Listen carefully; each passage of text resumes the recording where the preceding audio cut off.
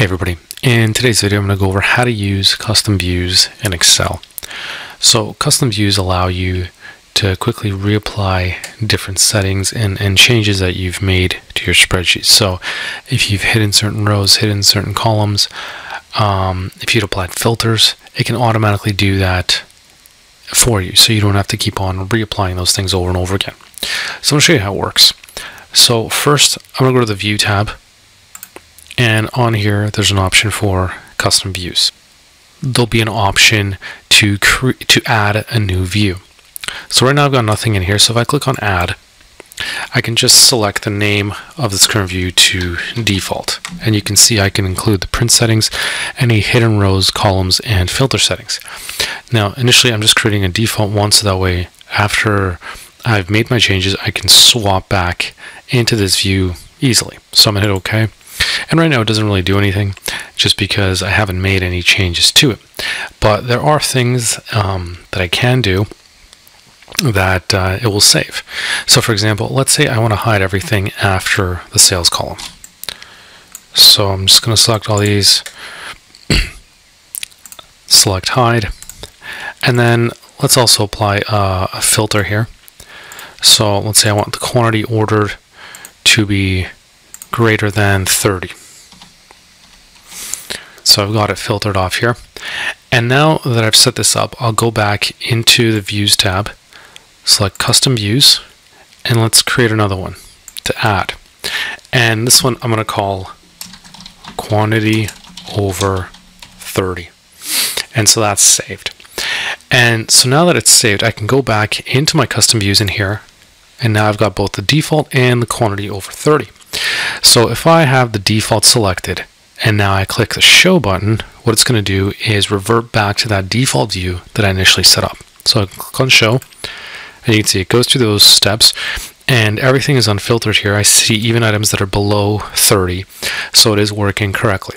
So if I go back in here again, let's say I want to reapply that quantity over 30, hit the show button and there we go. We've hidden those extra columns. We've applied that filter.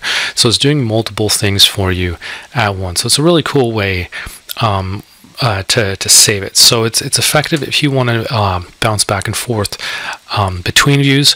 Um, one thing you could do if you want to make this a bit easier to access you can add this to your quick access toolbar so it shows up right there, so you don't have to go through the View tab and look for it.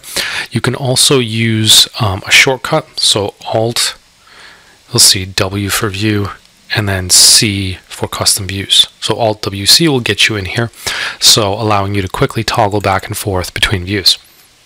Now, there is one very important drawback when you're dealing with custom views, and that's that it doesn't work with tables. So if I were to just convert this into a table, right, even though I've done nothing with it, now if I go to the View tab, you'll see the custom views are grayed out. And it doesn't matter if it's on this sheet or even if I'm on another sheet. That custom views is still grayed out. So if you want that capability, then you've got to make sure you don't have a table. So I convert this to range. Now I go back to view. Now I have my custom views. They're still saved there, but because there there's not a table, it'll it'll work. So there, the the main reasons you may want to consider using custom views is you know you don't work with tables, you don't work with pivot tables. You just want a way to quickly um, jump through different views. Um, i think it'd be more useful to maybe if you're dealing with uh, people who aren't all that familiar with with Excel, some some beginner users who maybe don't uh, feel comfortable doing that, making those changes all the time, or you know might have difficulty with pivot tables.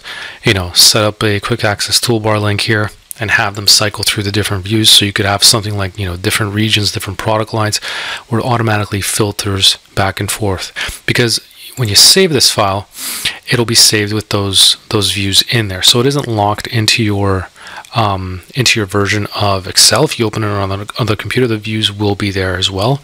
So that's the main reason uh, I would suspect someone would want to have it because if you're dealing with a complex sheet that's got tables and all sorts of stuff on there then maybe that's not going to be the best uh, use for it. And the other thing to consider is if your spreadsheet's going to change over time, like you move around columns and, and things like that, and you know the filters aren't in the right places any in the right place anymore, then the custom view function might not be all that helpful. So it is, it is a neat little feature that can be helpful.